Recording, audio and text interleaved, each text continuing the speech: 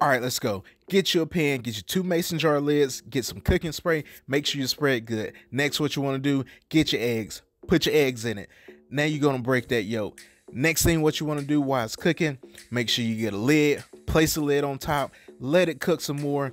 After it's cooked some more and it's ready to flip, you can put some salt and pepper on the step, flip that bad boy over both sides, let it cook some more, and then you have some perfectly round eggs for your McMuffin recipe. See me on my channel and we got the full recipe.